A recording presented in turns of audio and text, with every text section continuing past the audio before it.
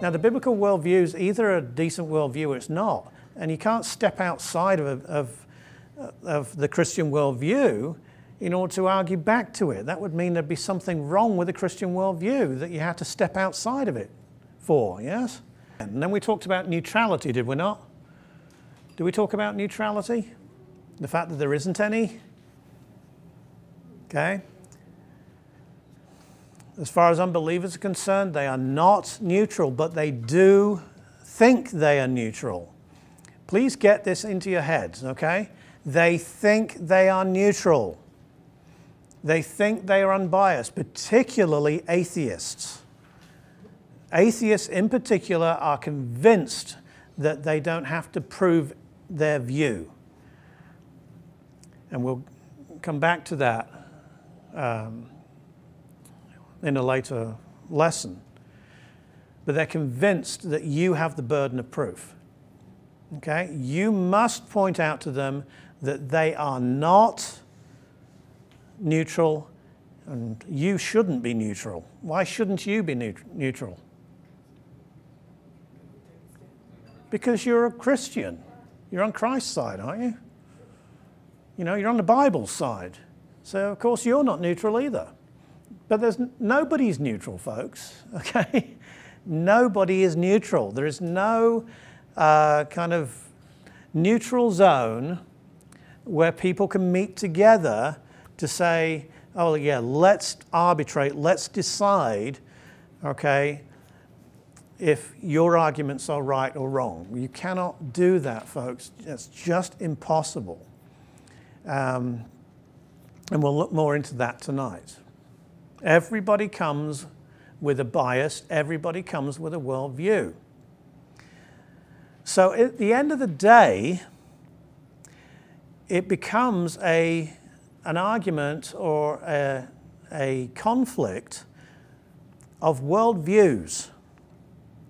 Okay? Not a conflict of individual details and data and evidences that are within some kind of neutral worldview. But you, what we're asking really is which worldview accounts for the data that we have and the arguments that we're using. Do you see? And we've called this way of argumentation a, uh, sorry about the word, transcendental argumentation. We call it transcendental uh, for two reasons. First of all, they're connected. First of all, because it, it comes from God. Okay? We're arguing from outside of the closed system of the universe in which we're part. Okay? And we are drawing down, do you see, God's revelation, and we're, we're standing on that. Because after all, God is the one who has defined what He's made. So if we're in agreement with what God has said He's made the world for and how He's made it and so on, then obviously we're going to be standing on firm ground. If we're not in agreement, then we're going to be in error to the degree that we stray from the designer's intention. That's a straightforward um, argument, isn't it? Do you understand that? Now, what's the world's worldview? What does that look like? It doesn't matter whether we're talking about ancient uh, world views or we're talking about modern uh, atheistic, naturalistic worldviews or New Age worldviews or Eastern monist worldviews. What do they all have in common? What do they look like, though? Here's what the biblical worldview looks like the creator creature distinction. One sphere. One sphere, very good. Okay, one sphere. And so God, you see, becomes part of that world or that system of reality. Now, notice that this is, we can call this a closed system.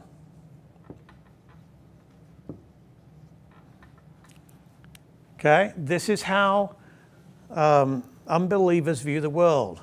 So, a, for example, an atheist, because you're going to when you go to college, you bunch when you go to college or you know, when you talk to atheists, because that's the cool thing to be nowadays for people that don't believe, you know, they're not, not just, they haven't thought very much about it, but they've probably um,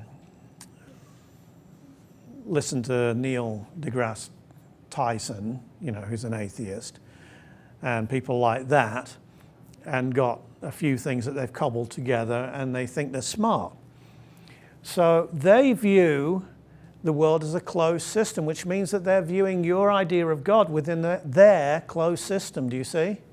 You're going to have to reject their idea of reality and say, No, I don't agree with your system of reality. That's ridiculous.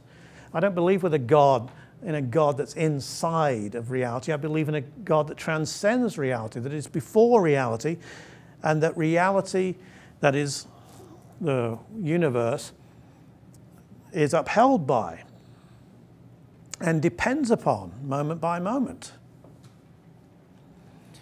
So, this is a creator creature distinction. It's always denied by unbelieving uh, worldviews.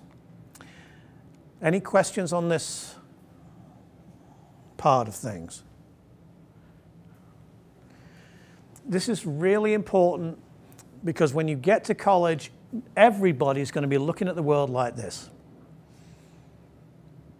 They just take it for granted. They're going to take it for granted that God is within that one sphere of reality. And that's how they're going to argue. That's and so if you meet them on that ground, okay, they've got you. Because you've already sold out your worldview. Their worldview, this idea of, of reality being a single closed system, okay, cannot account for itself, which is what we're going to do today. It cannot account for itself.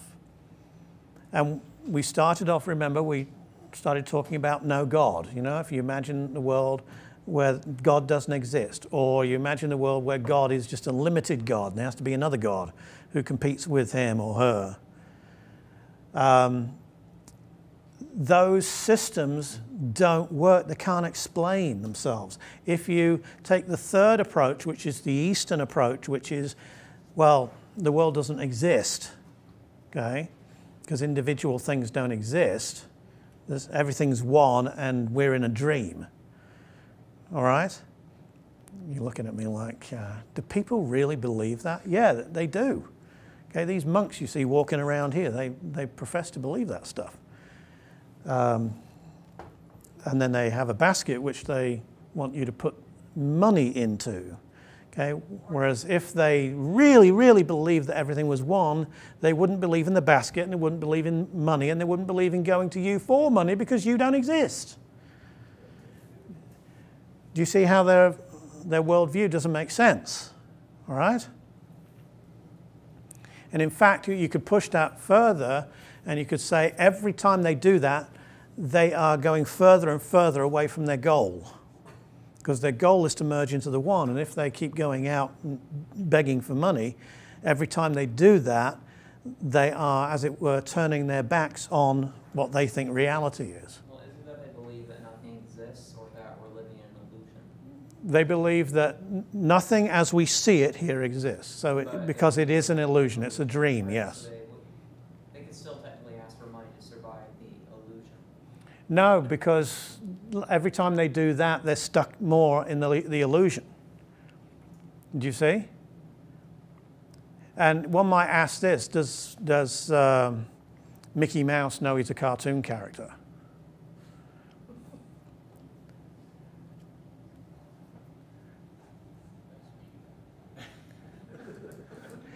Does he?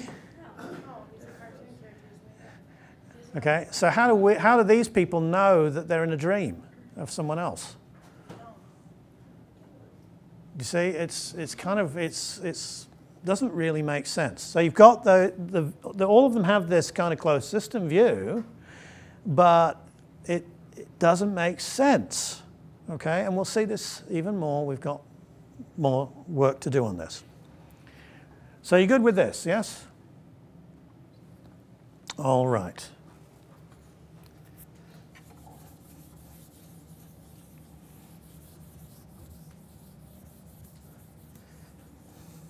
As a Christian, you must stand your ground.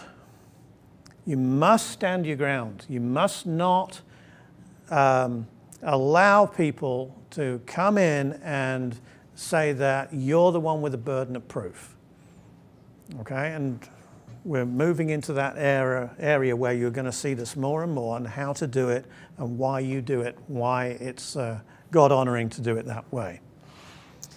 All right, what I want you to do is go to Proverbs 26.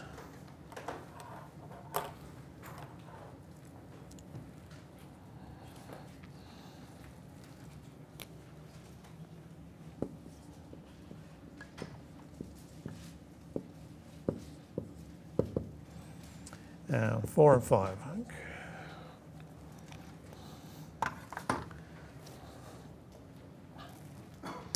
You all there? Answer not a fool according to his folly, lest you be like him yourself. Answer a fool according to his folly, lest he be wise in his own eyes.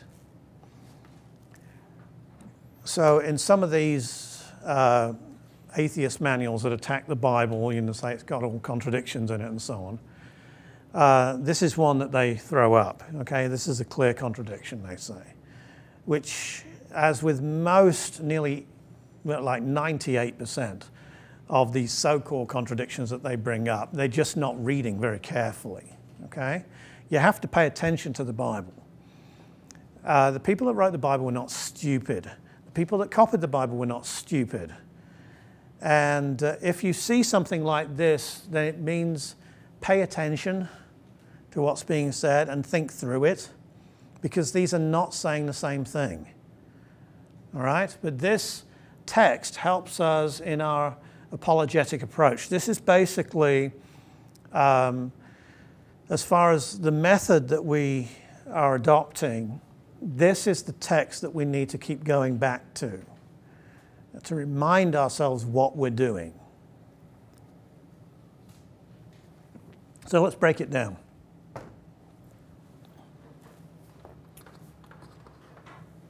So, verse 4 says, You are not to answer the fool according to his folly.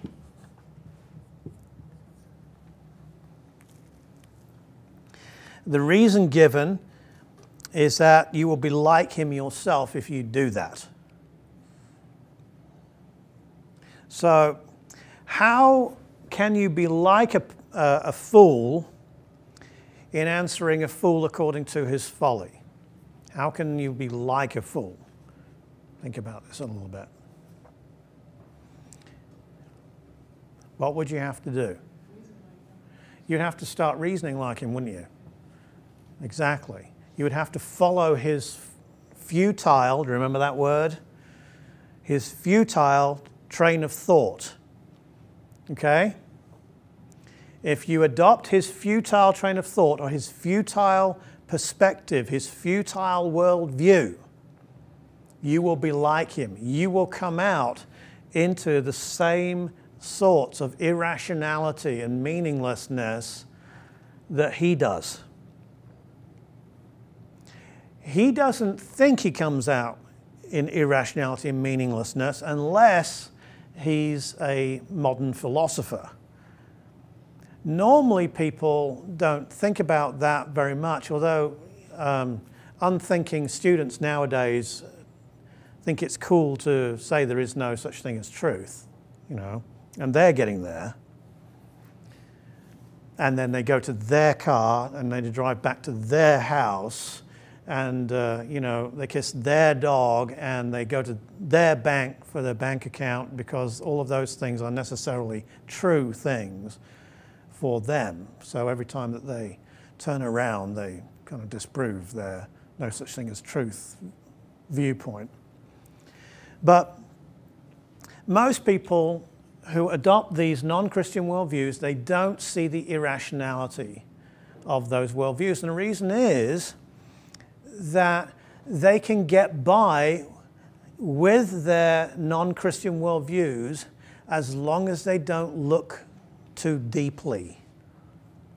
It's kind of like, you know, the cartoon character, uh, you know, who, uh, you know, um, Wiley Coyote dashes off the cliff. And uh, for a while, you know, he's running and so on, and he's, he's fine.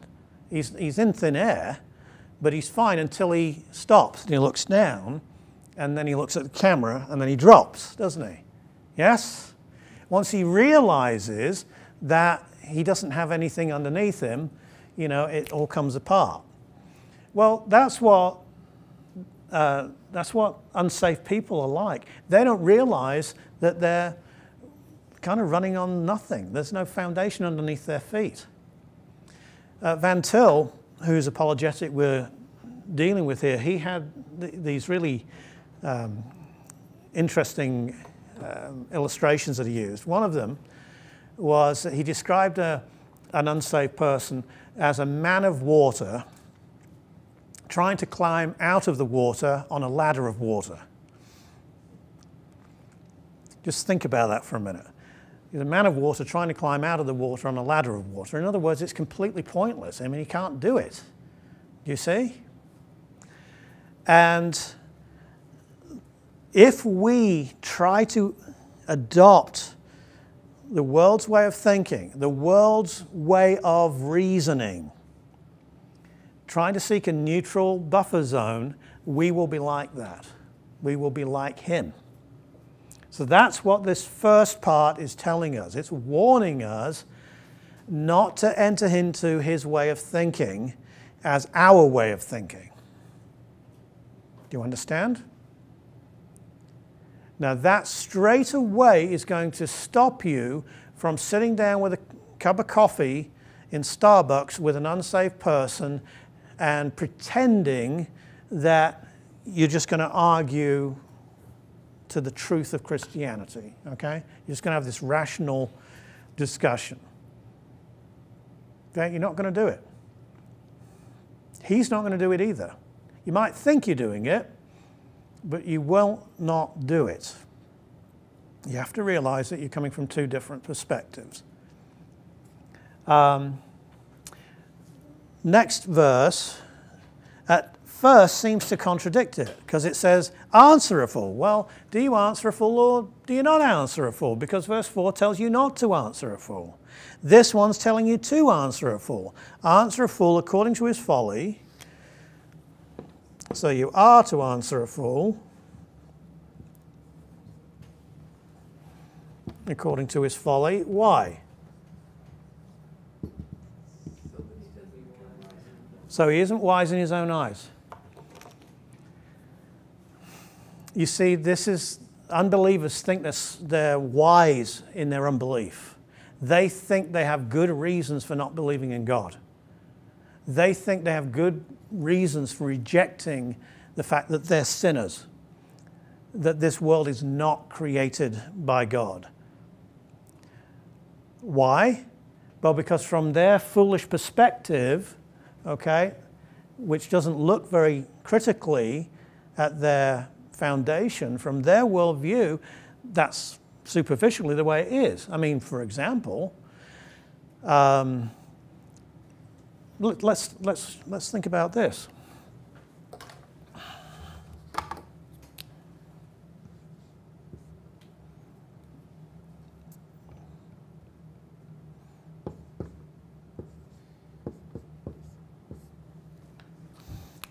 So do you have to be an unbeliever to believe that?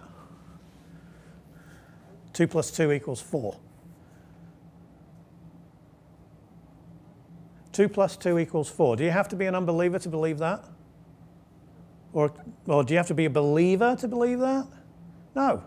You can be believer or unbeliever, and you can believe in 2 plus 2 equals 4, can't you? Everyone knows that. Yeah? So, why can't we agree then, get together and agree that uh, from my worldview, 2 plus 2 equals 4, and from their worldview, 2 plus 2 equals 4? superficially, 2 plus 2 equals 4 from their worldview because they're not examining their worldview. You ever run into these people that say, unless I can touch it, you know, taste it, feel it, hear it, smell it, I won't believe it? Now, those people shouldn't be using numbers then. But they do use numbers. Do you see? So, try and account for numbers from a biblical worldview. You believe in God, okay? So, where do you think numbers come from? Numbers are invisible. Now, where do you think they could come from? He made them up? Well, no, that, you're getting there. Okay, here's my cup, okay? Is my cup capable of making up numbers? Why not? Is my dog that has a brain capable of making up numbers? Why not? Okay, are you capable of, of thinking of numbers? Okay, why? Ah, see, the biblical worldview provides you with the answer, doesn't it? Okay, because you think and you've been given this ability to, to reason, okay, because you're made in the image of God, and God and God's mind is the source, the origin for numbers. So when people use numbers, they are using the gifts of God which are telling them about God. But of course, people use numbers like unbelievers, and they say, I can use numbers. 2 plus 2 equals 4. But in their worldview, yes, 2 plus 2 equals 4, but in their worldview has no explanation for numbers. Do you see? Has no, no explanation. If, if all we are is, mind, is sorry, mindless matter, purposeless matter in motion, every number that I know of comes from mind. Yes? Minds create numbers or think of numbers. Same as every law of thought requires a thinker.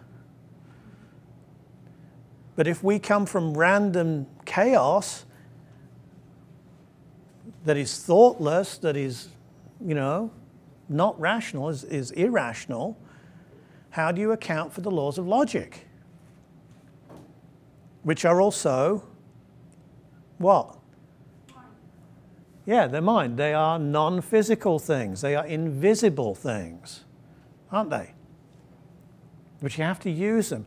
Every time a person uses numbers, every time a person uses the laws of logic, for example, if they are not a believer, they are, as it were, using God's good gifts, which are right there in front of them, telling them that God exists. And by not thinking about it, reflecting about it, and by ignoring it and using them anyway, and then saying God doesn't exist, they're condemning themselves. Do you see? This is why Romans 1 18 through 32 says, doesn't mention the gospel. It says that when they knew God, they did not glorify him as God, neither were they thankful, but became futile in their thoughts. Professing themselves to be wise, because they do, they became fools.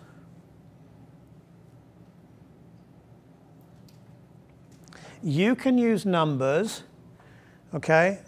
The same way as an unsaved person can use numbers, but you have a worldview that accounts for numbers. They don't. Two people, and there's a crime. So the police inspector comes along and he interviews the first person. The first person gives an account of where they are. Okay? The other person doesn't have an account of where they were because they did it. All right? But what they do is they say, they borrow from this person's account.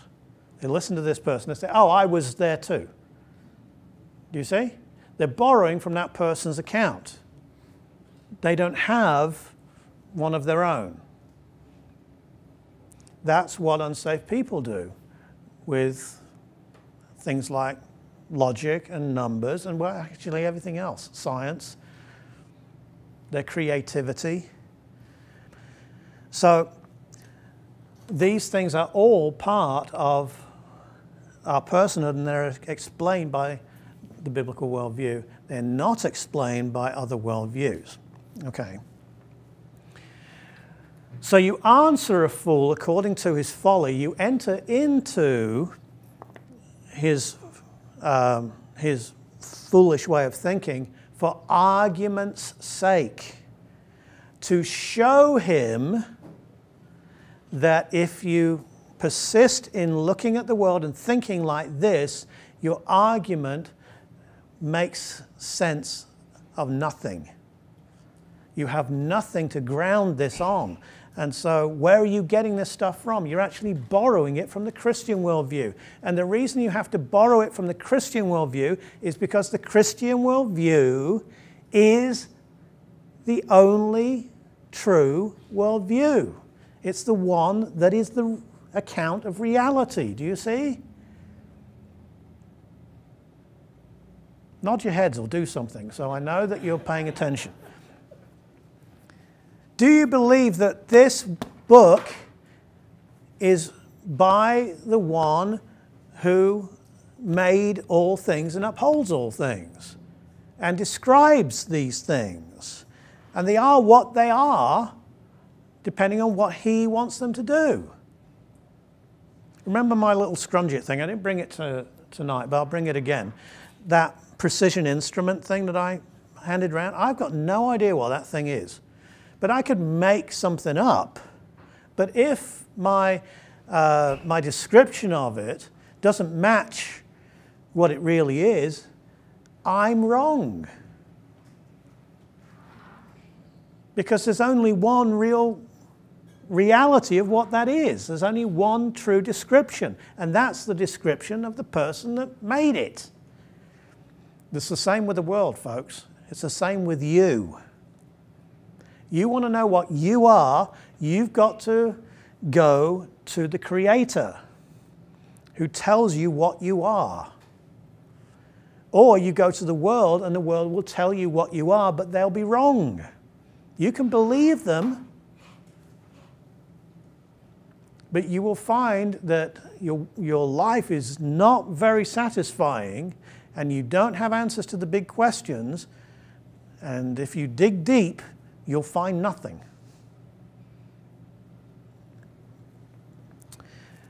So remember this procedure, this kind of two step. You're not to step into the unbeliever's worldview. That is a big, big mistake that Christians make because they think that this person's neutral, and so I'll just be neutral and we'll get to the truth that way. They're not, and you shouldn't be. But you say, well, for argument's sake, you tell me what you believe about reality. You tell me what you believe about, about yourself, about the world. You'll see that they really don't have, they've not really thought about it. they don't really have many uh, deep answers for this. Um, I was in a debate some years back with uh, an atheist, and it, we were kind of, this person accused me of stole, stonewalling, okay? In other words, of, of not dealing with the, the, the arguments, the big arguments. So I started to deal with them and I started to talk about, well, from a, I am a Christian by the grace of God. I believe the Bible is the Word of God and a correct description of reality. Um, I know you don't. I understand that you don't. But what's your view of reality? Now, I couldn't get this person to tell me. So, what I did is I tried to help them. And I, I gave, and I, I will hand this out at some point, I gave them a description of uh, things like where does logic come from? Where do numbers come from? Uh, how do we, uh, how come we can do science? How come there is uniformity in nature? Okay, so we can repeat things. Um, our artistic abilities, okay, love, uh, wickedness, violence. I mean, where do all these things, how do you account for these things in your worldview? And I, I sent it to her and said, okay, let's see yours. She never replied to that. I mean, she kept on arguing. And I said, Where is your account of reality? You, you, can't agree with mine because I've traced all of mine back to God and given you reasons why it's God. You reject God. So, where do you base all of these things? She would not tell me. She just continued to use these numbers, laws of thought, and so on. I said, But you need to give an account for laws of thought. That's what I'm challenging you to do. Okay? She said, I don't need to give an account. I said, You think you don't need to give an account for these things because you think you're neutral. But if you stop lying to yourself and actually start doing what I've challenged you to do, you'll see that you cannot give an account of them. And if you can't give an account of them of, in your worldview, what do you need to do with your worldview? What do you need to do with it? Throw it out because it's useless. It doesn't account for reality.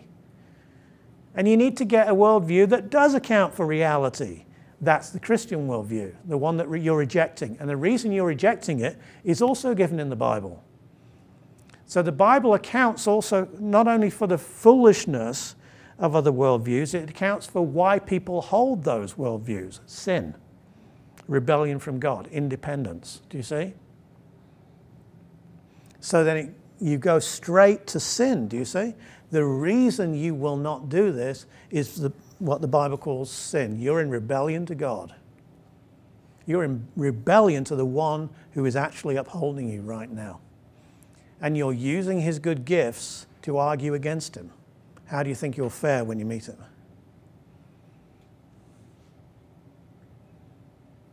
I've got to rely on the Holy Spirit to do the work of conviction. I can't do that, but I, what I can do is I can stay within my God honoring view of reality and show that unbeliever their view of reality doesn't make sense. Just like the Bible says it doesn't make sense, it's futile. And call them to repentance. What's repentance mean? Do you know? Doesn't mean turn necessarily. There, there is a word that can mean that, but metanoia really means to change your mind. Okay, to change your mind every one of us, when we became a Christian, we changed our mind about God. We changed our mind about the Bible. We changed our mind because of, we believed now in the God of the Bible. We changed our mind about ourselves. We changed our mind about what the world is. Didn't we? And sometimes we forget that we did that. But we did. We turned from a um, futile way of thinking about things into to the truth, to the light. Okay, so let me kind of illustrate here a little bit of what's going on by pointing out another thing here that we're dealing with. Don't forget this stuff. But we'll keep this one up. I'm going to put another fancy word up here.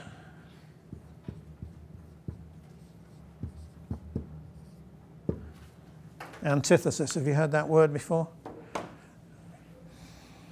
You say, why do we have to use these fancy words? Well, the thing is, if we're going to think Okay, we need to learn some vocabulary. You know what, what gets me, all right?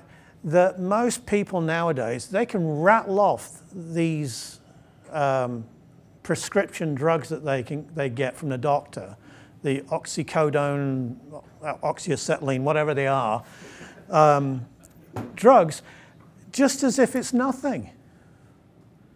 Why? because it's important to them. Okay? But they don't want to learn um, theological terminology. They don't need to learn all of it, but just some of it. So they, it puts a, an impression in their minds of what it is. Okay? Antithesis is another one of these words that's helpful for us. Okay? When we say that something is antithetical to something else, what do we mean? Do you know? It's opposing, yes, it opposes it. Okay? So that's all we mean here by uh, antithesis. There is an antithesis, an opposition of worldviews. The biblical worldview as opposed to every other worldview. You have to pay attention to the antithesis. You have to keep it in your mind. If you don't, you will enter into their worldview. So when you are talking with an unbeliever, you have to remember there's an antithesis. And we've already looked at this. I mean, in, um, if you want to look again in uh, Ephesians chapter 4, I mean, it's all over the place in the Bible. It's the, right there in Proverbs 26. In fact, it's all over Proverbs.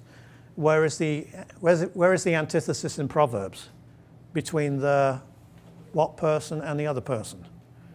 The wise person and the fool. That's an antithesis, isn't it? The wise person does not have the same perspective as the fool does. The fool has a silly perspective. The lazy person has a different perspective than the diligent person, don't they? There's an antithesis between them. The Christian, the Bible believing Christian, does not come from the same perspective as non Christians. There's an antithesis between them. Uh, Ephesians chapter 4 now, this I say to you, verse 17, testifying the Lord, that you must no longer walk as the Gentiles do in the futility of their minds.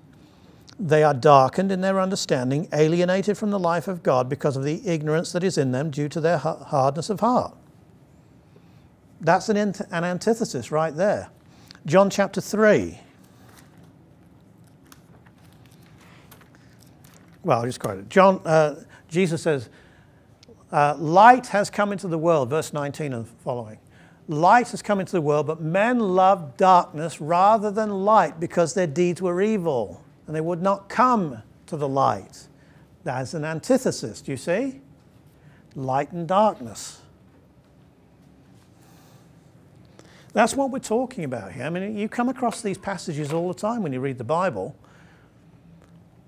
but then we pass over them and we think that, okay, well, uh, the Bible's just saying that, you know, we've received the light because we've been saved and we know we're going to heaven and we believe the gospel and that's all there is to it.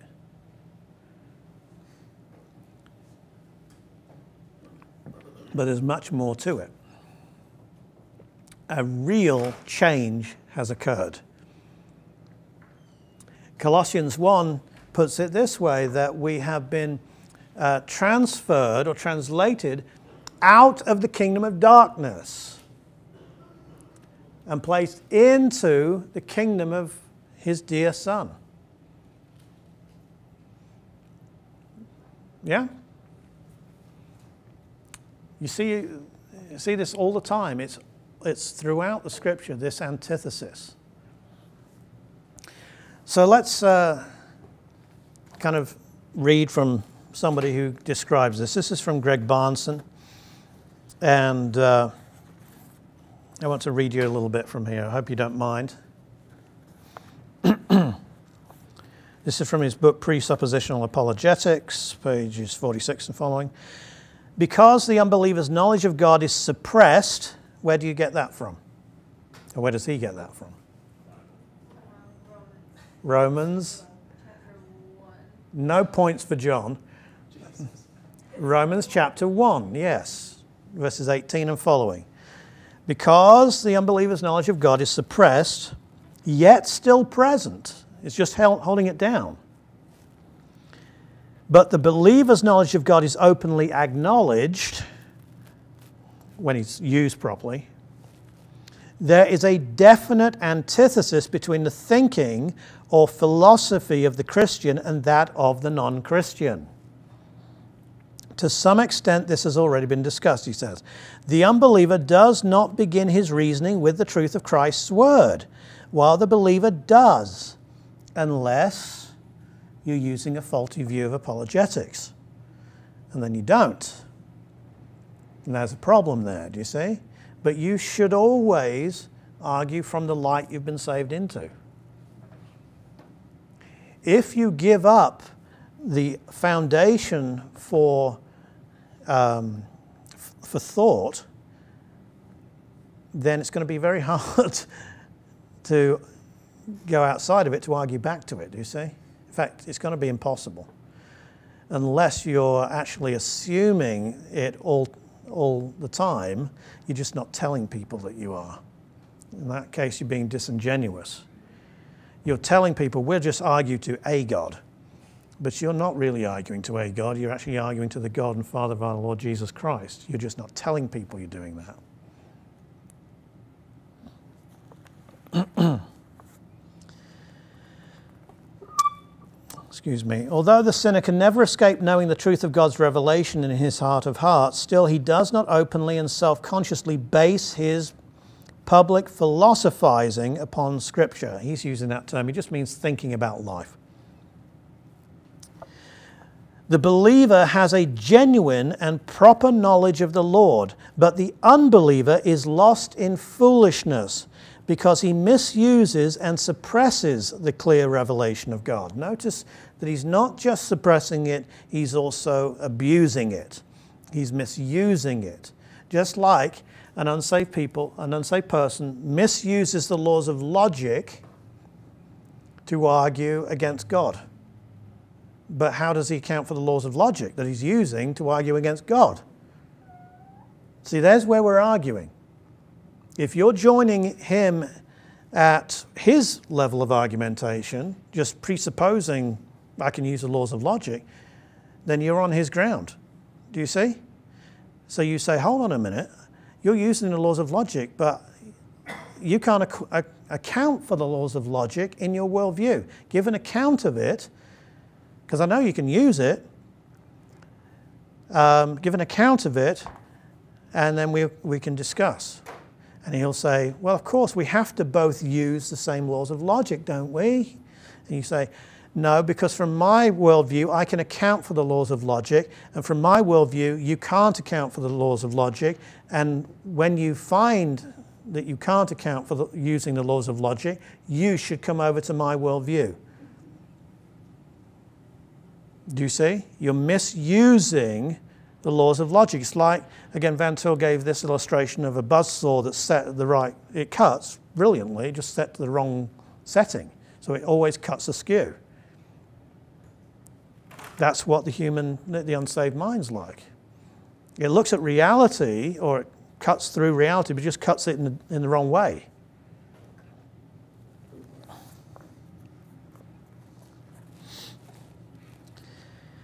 In the apologetical argument that arises between these two, there will be a direct clash of espoused presuppositions. A clash. There will be a head on collision. The problem you're going to have is getting that person to even think that they have presuppositions. Okay? you have to be upfront. Of course, I have presuppositions. Of course, I have bias. But so do you. I'm going to go more into that. The presuppositions of the Christian are rooted in Scripture, but those of the unbeliever rebel against Scripture. By observing the antithesis as Scripture presents it, the apologist will be shown that he must not depend upon the presuppositional presuppositions of secular philosophy and science in constructing his defense of the faith. Rather, his argumentation must be firmly established on the word of Christ and must be bold, must boldly challenge the non-Christian from within that position. You do not move from the scripture. You don't argue to the scripture. There will be times, and we'll look at it later on, where we will talk about okay, how do we know that the Bible hasn't been changed and all of that stuff. But that right now is not, if you, you can argue with a person like that forever, and he'll always be able to bring up another issue, which is a loophole for why he shouldn't believe. You don't argue with a person like that. You argue uh, with worldviews. Okay, the biblical worldview against all of the others.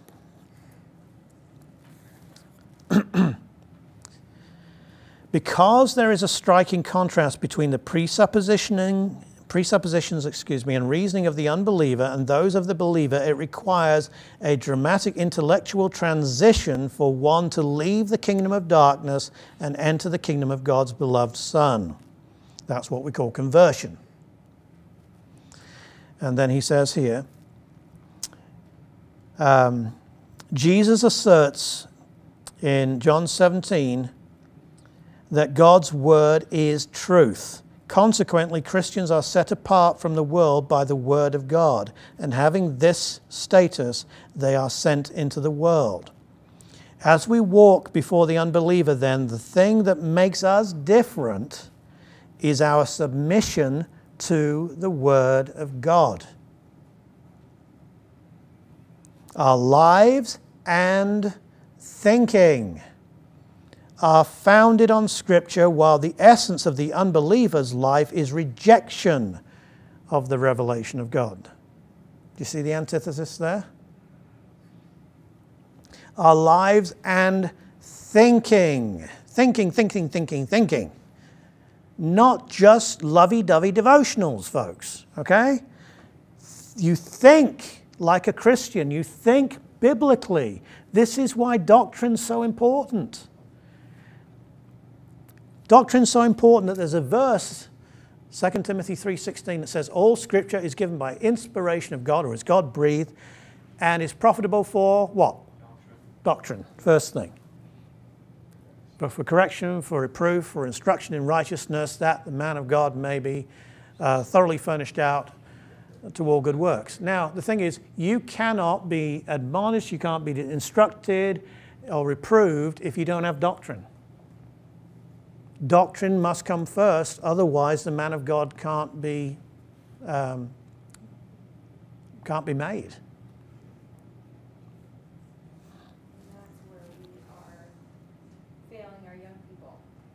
We're failing everyone. In our programs and all that stuff. Yes. The doctrine the lack of doctrine. Uh, it, it's, it's universal. It's universal and has been for a long time. And uh, we might be able to talk a little bit about that um, if we can get through this material. So, when the Christian uses the presuppositions dictated by the world in his apologetic, he has moved over into the realm of error.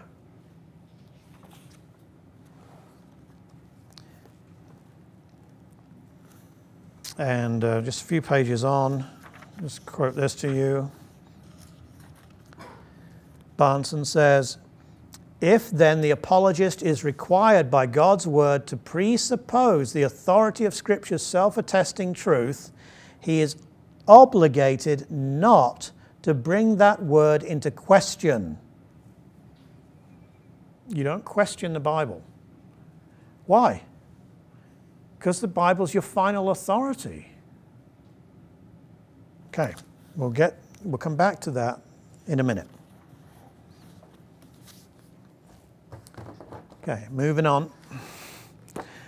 So this is another Bahnsen book. This is an excellent book. It's called Always Ready. Okay, this is the book that I would recommend if you want to really understand um, this, you know, in a, a, a biblical way, to, to see how the Bible continually teaches the antithesis. This Greg Bahnsen, B A H N S E N. Okay. And I'm just reading a little bit here. The, here he's going to go through what we talked about in Proverbs 26. Okay? In Proverbs 26, 4 and 5, we are instructed as to how we should answer the foolish unbeliever, how we should demonstrate that God makes foolish the so called wisdom of this world. Answer not a fool according to his folly, lest thou be like unto him. Answer a fool according to his folly, lest, thou, lest he be wise in his own conceit. The twofold apologetic procedure mentioned by Van Til above is here described. In the first place, the unbeliever should not be answered in terms of his own misguided presuppositions. You don't enter into his worldview. The apologist should defend his faith by working within his, the apologist's, own presuppositions. if, excuse me, he surrenders to the assumptions of the unbeliever, the believer will never effectively set forth a reason for the hope that is in him. How can he? You've gone and left that behind. But that's what you're supposed to be doing in apologetics, according to 1, Timothy, 1 Peter 3.15.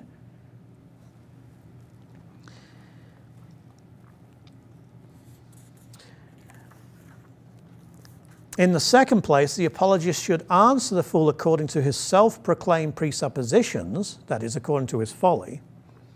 In so doing, he aims to show the unbeliever the outcome of those assumptions. Pursued to their consistent end, presuppositions of unbelief render man's reasoning vacuous and his experience unintelligible. In short, they lead to the destruction of knowledge the dead end of epistemological futility to utter foolishness. Epistemological futility just means thinking, okay? so remember the antithesis and push it. Push it on the unbeliever. I'm from this position. I know you're not, but I am. I'm a Christian. I can't not be a Christian. I am a Christian. You're an unbeliever, so I don't expect you to hold my view. If you did, you would be a Christian. So, from my perspective, this is what I am as a human being. I am, first of all, made in the image of God. I'm valuable. I'm worth something. I have a purpose. I have a meaning. Do you see? I'm not just a cosmic accident. I didn't spring up from slime, you know, through um, fauna and fish and reptiles and, and monkeys and apes into what I am now. And I'm not part of some kind of chaotic, mindless process of deterministic evolution. I've got a purpose as a human being. I've also got a soul.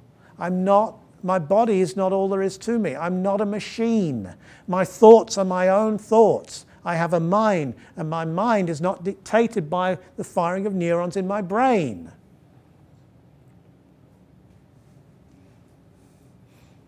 I have a soul made in the image of God, and uh, but I'm fallen. I'm a sinner. So are you. And remember what the key um, view of the sinner is? Do you remember that? Went to Genesis 3. What's Eve's problem? No. Mm, no, but it's more basic than that. She what?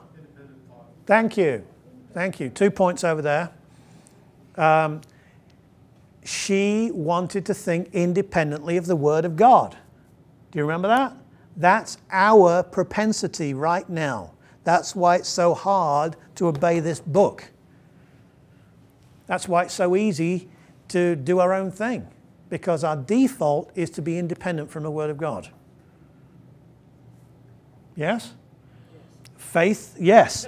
faith is what makes us dependent on the Word of God. That's what faith is. It's not just this airy fairy thing that the world talks about. Okay, we're going to get onto the, into that as well.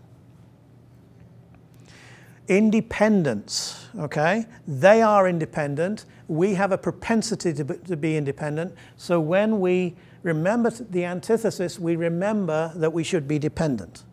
And we stick to the worldview that we've been called to. We stay inside the light. Do you see? All right. I'll give you an example now. And I'm going through these just so um, I, I, hope that these kind of are illustrative and uh, helps us save a little time. This is uh, Scott Oliphint in his book Covenantal Apologetics. This is a bit more advanced. But here he's giving us an example of the antithesis that we've been talking about. And he's also giving us an example here of uh, entering into the folly of the fool. So watch out for this here. Where he's going to start with a quotation from Daniel Dennett. Daniel Dennett is one of the four horsemen of the apocalypse, as they call themselves, one of these new atheists, okay? Daniel Dennett believes that we are machines. We are just naturalistic machines. He does not believe in consciousness. Okay? He does not believe that we're conscious in the way that traditionally we believe we're conscious. Okay? He believes that our consciousness is an illusion that's fobbed off on us by our genes. As uh, I think it's Dawkins once say, we dance to the tune of our DNA. Okay, so we're, we're completely determined. Your thoughts, your deeds are completely determined. You are just a, an advanced robot. That's what, um, by the way, you go to university, you go to psychology classes, that's what you'll get taught. Okay? Um, so let me read this uh, passage from Daniel Dennett and then just some of the answers that Oliphint gives. Okay? Quote The philosopher Ronald de Sousa once memorably described philosophical theology as, quote, an intellectual tennis without a net. And I readily allow that I have indeed been assuming without comment or question up to now that the net of rational judgment was up. But we can lower it if you really want to. It's your serve. Whatever you serve, suppose I return service rudely as follows quote, What you say implies that God is a ham sandwich wrapped in tin foil. That's how much of a God to worship. If you then volley back demanding to know how I can logically justify my claim that your serve has such a preposterous implication, I will reply, Oh, do you want the net up for my returns, but not for your serves? Either the net stays up or it stays down. If the net is down, and what is the net? The net of rational judgment, remember? If the net is down, there are no rules and anybody can say anything. I have been giving you the benefit of the assumption that you would not waste your own time or mine by playing with the net down. Now, if you want to reason about faith and offer a reasoned and reason responsive defensive of faith as an extra category of belief worthy of special consideration, I'm eager to play. I certainly grant the existence of the phenomenon of faith.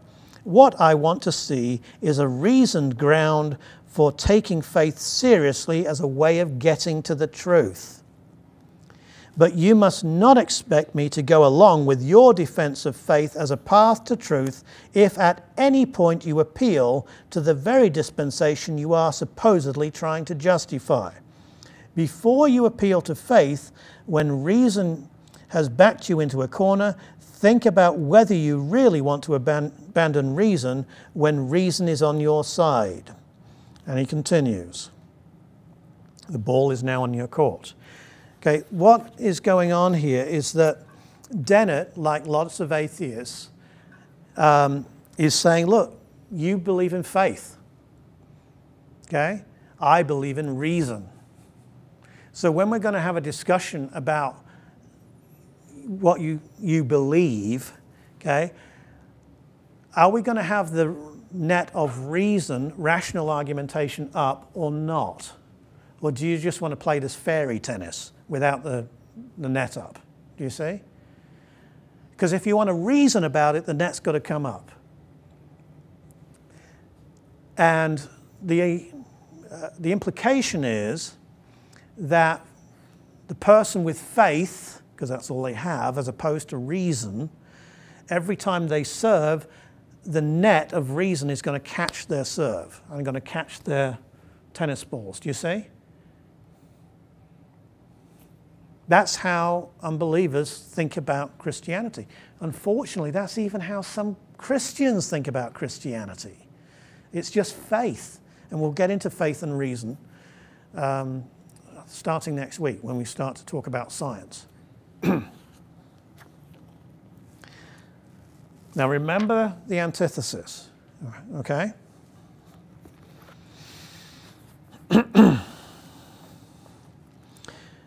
Thank you for your clarity. Let me first say that there is much of substance on which you and I can agree. Specifically, I too am seriously trying to get to the truth in this discussion. Are you interested in the truth or not? Do you think Christianity is true? I mean, is it a description of reality or is it just a kind of personal truth, which is what a lot of Christians make it? Okay, I mean, my sons over here, your daughters, okay, if we're not careful, they'll grow up thinking that Christianity is just some personal little belief that they can hold on to and has nothing to do with the outside world. And when they hit the outside world, they'll think, I don't need this. All right? It doesn't, it's no use. It doesn't fit. We're concerned with truth, or we're not concerned at all. If Christianity isn't true, then to blazes with it. It's got to be true, or it's utterly useless.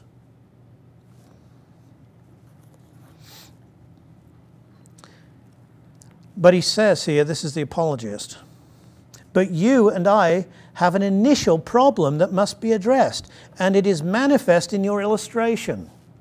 In speaking of the net of rational judgment, you think that there are only two options. Either the net is up or the net is down.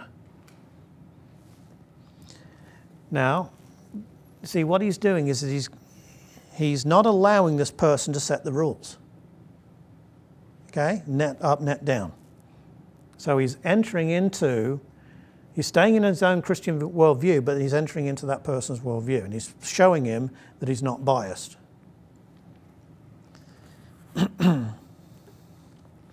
when the net is up, rational judgment is in play. When it is down, anything goes, including your postulation that God is a ham sandwich wrapped in tin foil. To put the net down, you think, is to open the game up to such absurdities. So we've got to have, if we want a rational argument, the net's got to be up. The problem, however, which you have not recognized, is the problem of the net itself. Not whether it's up or down, the problem of the net itself.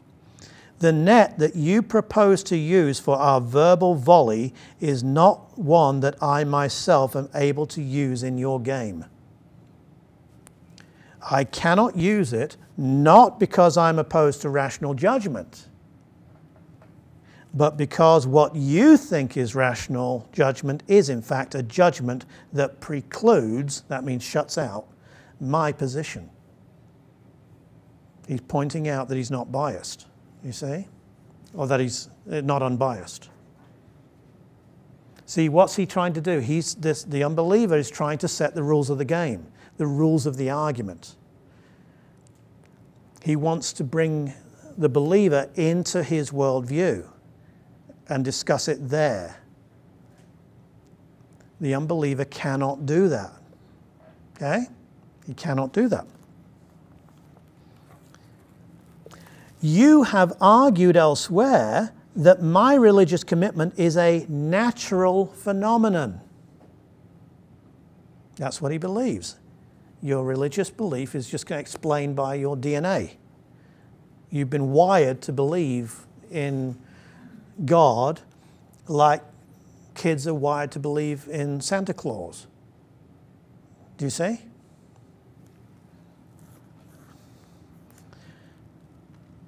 So, whatever the net of rational judgment is, it must include the fact of my commitment as is simply more of your own naturalism.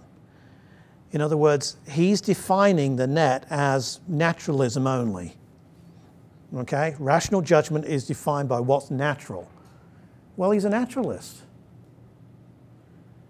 So his net, let's, I'm a brilliant artist. So um, his net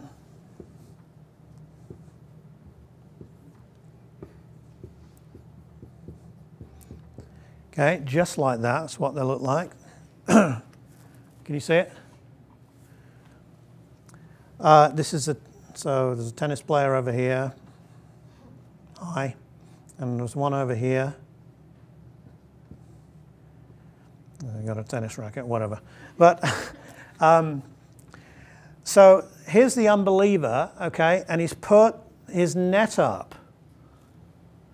But the net okay, is for naturalism only. Anything that's supernatural is going to get caught in the net. Anything that's natural, anything that he serves, because he's defined um, rationalism as being only what is natural, that's going to get over the net. He's, what's he doing? He's rigging the game. Do you see? He's rigging the game. You've got to push the antithesis. You say, no, look, you are presupposing that naturalism's right. I don't hold that view. If we held, both held that view, we could play by your rules. But I don't hold that view. So I'm not going to play by your rules because you don't define reason. Not only do you not define reason, but by naturalism, you have no foundation for reason. Which we'll get to, by the way, when we get to Alvin Plantinga's evolutionary argument against naturalism, which we'll get to. Um, but a person that just believes that you believe what you believe and you believe what you believe just because the firing of neurons in your brain at this particular time, okay, that's the only thing. Your consciousness is just an illusion, doesn't really exist. If you really believe that, then obviously there's no reason to believe that anything you say is true. Or rational, because you're going to think it's rational. G.K. Chesterton has this wonderful passage about, um, you know, madmen. He talks about, um, in his book Orthodox, he talks about that uh, madmen tend to be people who, are hyper rational, but rational on one thing. Okay? They just focus on one thing and they're hyper rational about it. Uh, it doesn't tend to be, says the artists and the poets that go mad, it's the hyper rationalists that go mad. And um, the thing is that if you uh, every mad person believes they're what? Sane. You see? They believe they're sane. So, just like an unbeliever, just like Daniel Dennett here, who believes that his thoughts actually are not his thoughts, they're just the way that his, his uh, neurons are firing at any particular time, it's actually crazy belief, isn't it? Because why would he even write a book to persuade people to do it and actually believe that what he was doing was rational? Surely you'd have to believe that whether it was rational or not, he was just predetermined to do it. Rationalism has got nothing to do with, with, uh, with it. Why would he want to put a, a rationalistic net?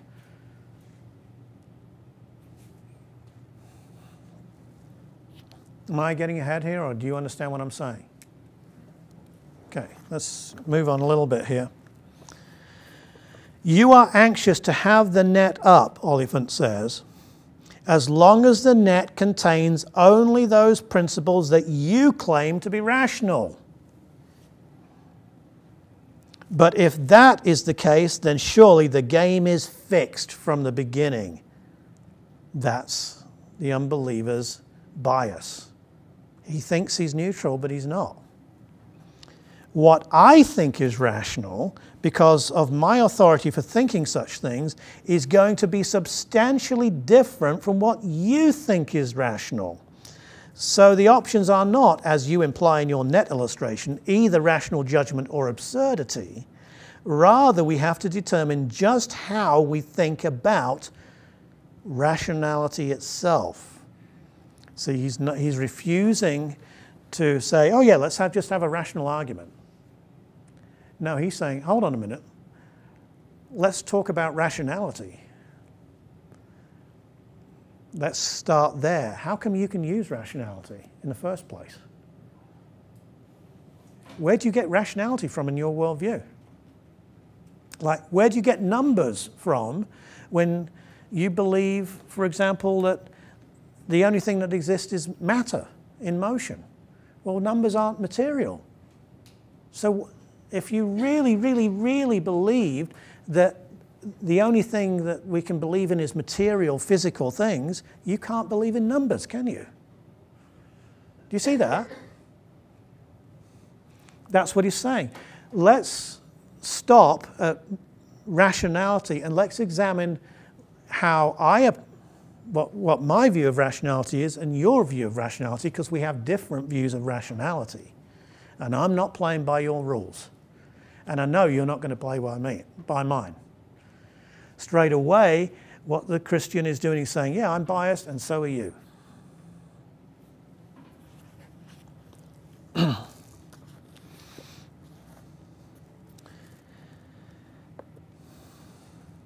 Now, perhaps you can see that this is exactly what you have done in requiring that your net be used in our discussion. If I might apply your own criterion against you, you yourself have appealed to the very dispensation you are supposedly trying to justify. You have appealed to a net that defines the rational naturalistically. And then you have urged me to make sense of my faith within it. No tennis player worth his salt would venture onto a court with such a net. If the opponent's net excludes his contender at the outset, the game is over before it begins. And then just one final thing here. Um, I agree, however, that we're, we're seriously trying to get at the truth here. So, as we debate the composition of our respective nets, that is rationality, let me try to meet your request to, quote, see a reason ground for taking faith seriously as a way of getting to the truth. You will concede, I hope, then, that the question at hand is not who is the more rational according to my criteria of rationality, but rather which view explains the data before us. See, they, the world wants to argue on its own rules. It wants to rig the game. It wants to say that your Christian faith is just something nice little kind of prop that you use, a nice something belief that's fuzzy and comfortable and gets you through life. Yeah? But here in the rational world, you know, we don't need that. Well, you cannot accept that view of reality because that view of reality doesn't work. It's not reality, actually. It's one of those, you know, people in thin air, you know, not looking down. You've got to show, get them to look down. And you cannot do that with, when you're doing this on thin air too. All right, what time are we got? Okay, we're getting there. Um,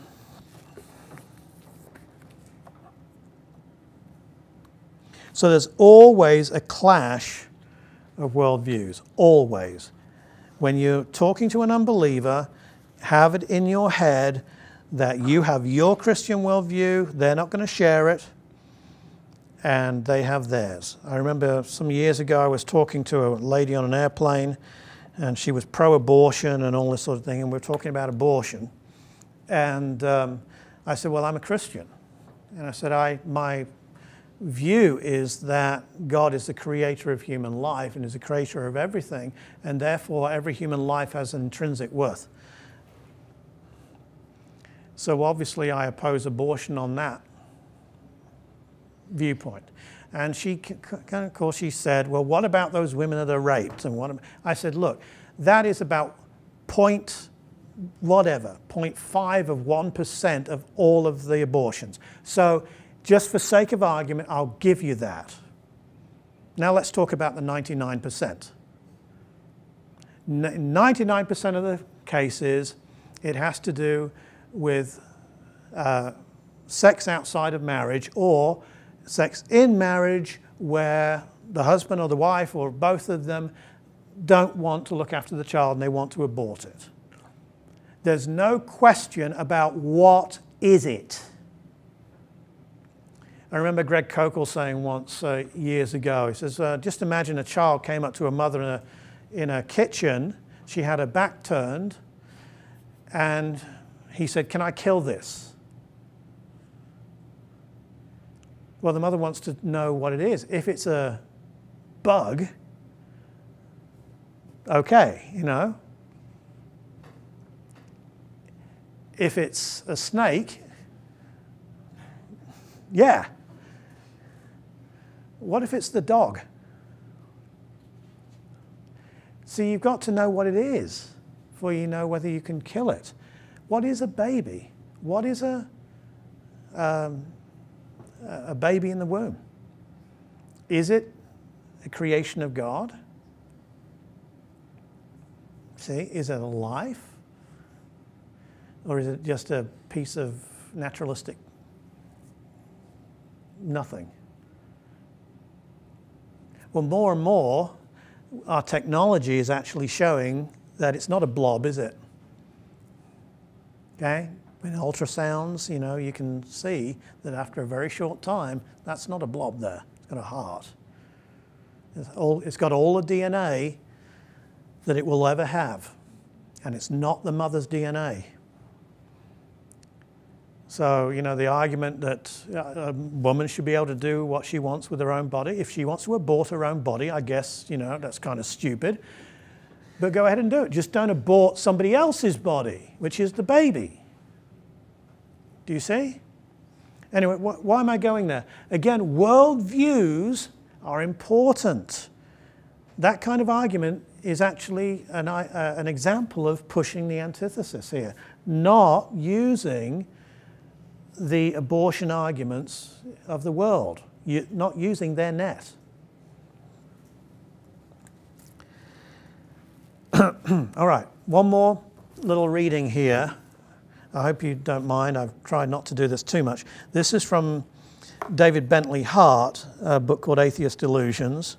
And by the way, I've, um, I've reviewed these two books on my blog if you want more in depth stuff on it. But um, this is from a different angle, but I think uh, hopefully you'll see how it relates. He's talking about history. Okay, history. And he says this To believe in history is to assume that human time obeys a certain narrative logic, one that accommodates both disjunction and resolution, and that moves toward an end quite different from its beginning. This we do not find among the pagans. The only philosophy of history known to antiquity was one that simply assimilated history to nature, its cycles and repetitions, a vast regularity punctuated by chance upheavals. Which is to say that, from a philosophical perspective, history and nature alike shared in the same ultimate meaninglessness.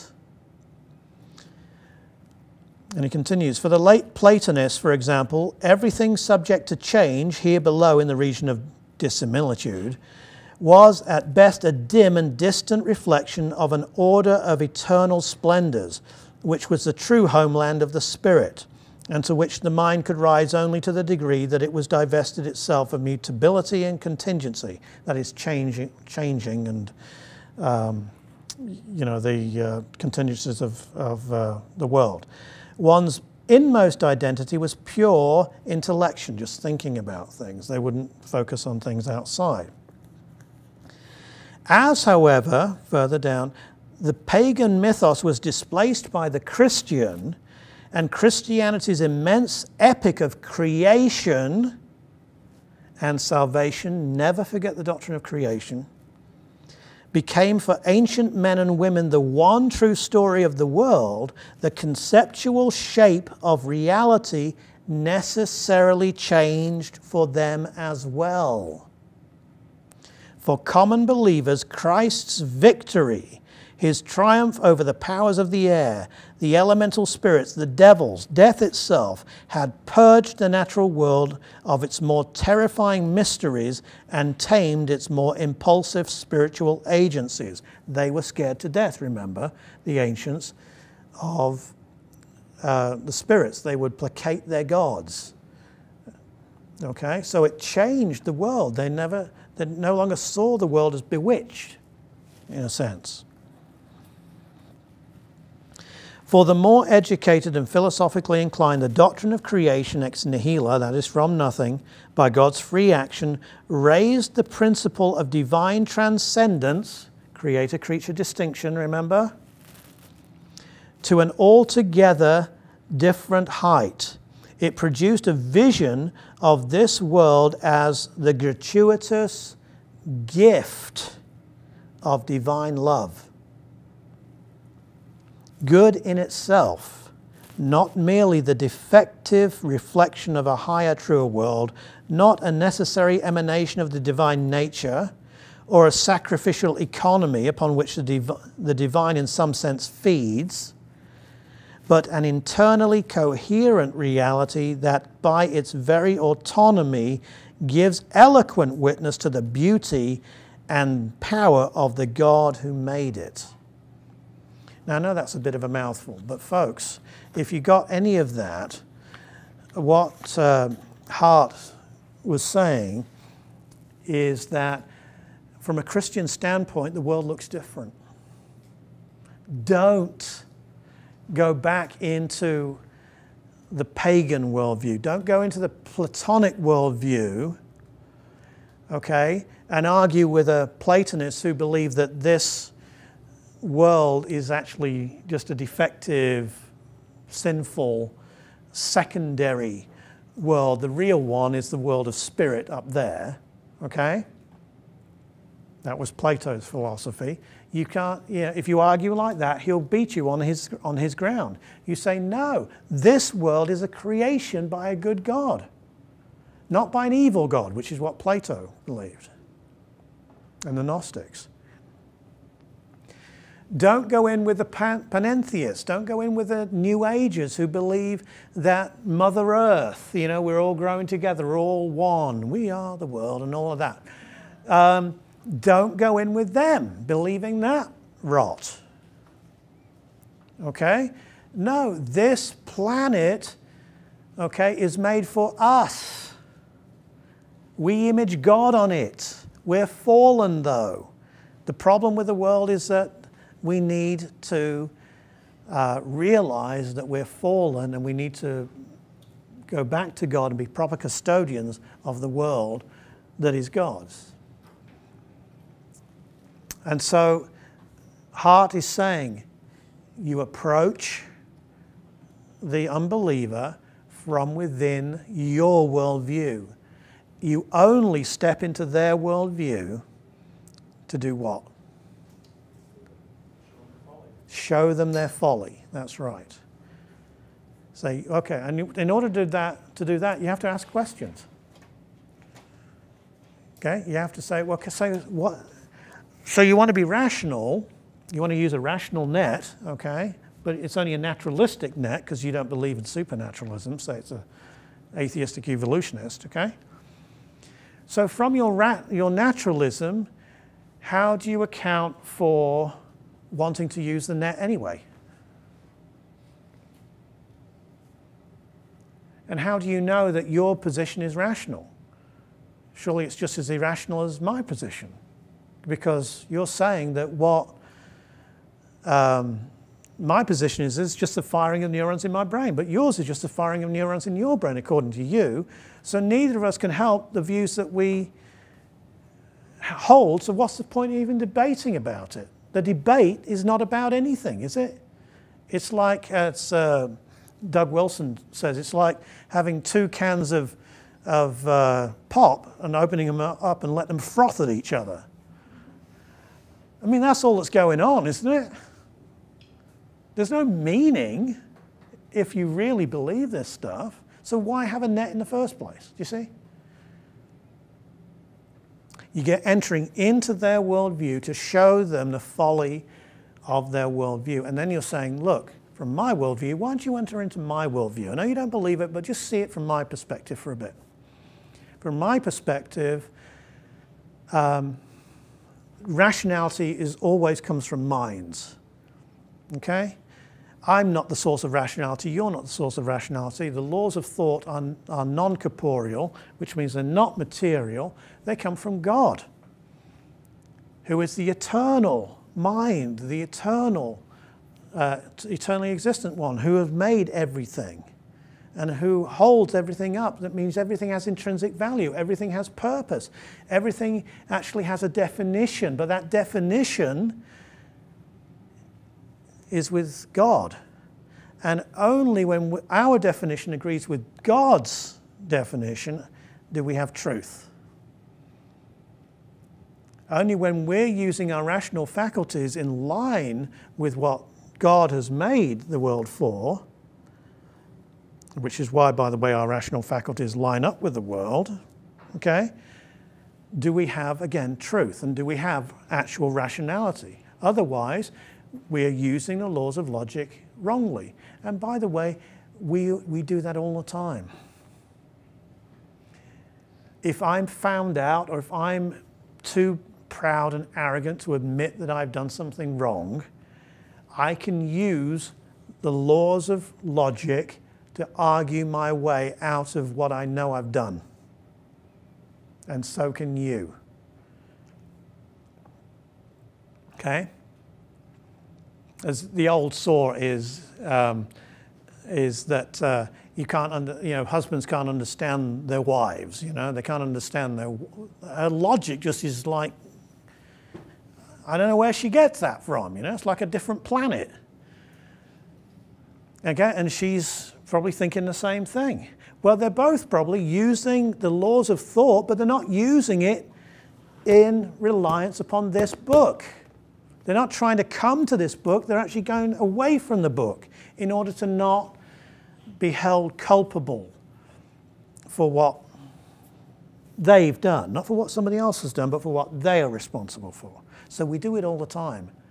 If we do it in things like that, if we do it when it comes to have you eaten two cookies when I told you to eat one cookie, Oh, no, I haven't. And then you explain, you try and use the laws of logic to explain why you haven't used, you haven't, sorry, got two cookies, even though you know you've got two cookies.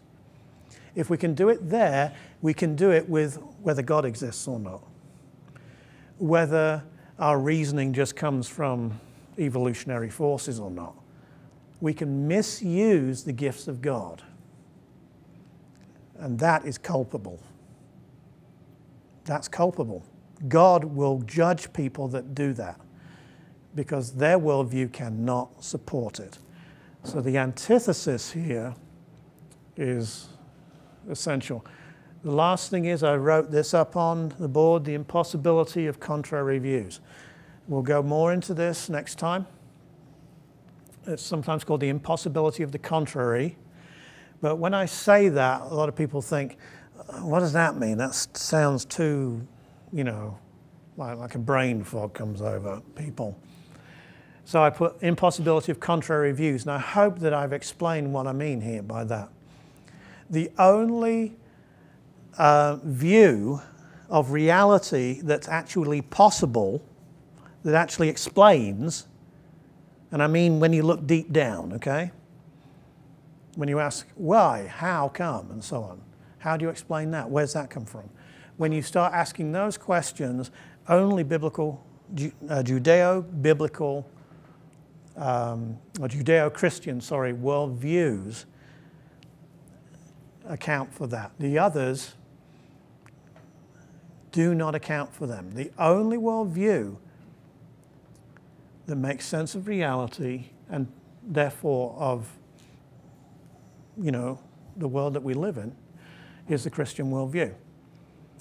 The others are excluded. So you show a person, basically what you're striving at is to show them the impossibility of explaining themselves and explaining the world outside of the Christian worldview. Just like the impossibility of using a rationalistic net.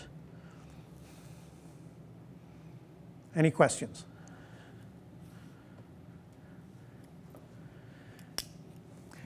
Don't you wish, without knocking anyone, and really, I don't mean to knock anyone, I'm being general, don't you wish the church would arm you more to think like this? Okay? Rather than you coming to church and singing a bunch of of stuff that makes you feel good but doesn't make you think. Okay, and listening to sermonettes, and I'm not saying that happens here or at my church or, you know, but it happens in evangelicalism. Okay? And, listen, and, and reading little fluffy devotionals and so on. Jesus calling, that's heresy. There's heresy in that book. Okay? Re- reading that stuff. Many of God's people, they don't know. Why? Because they're not taught to think biblically.